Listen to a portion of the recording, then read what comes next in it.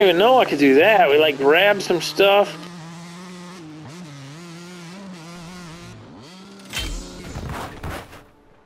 We found a collectible for the first time ever.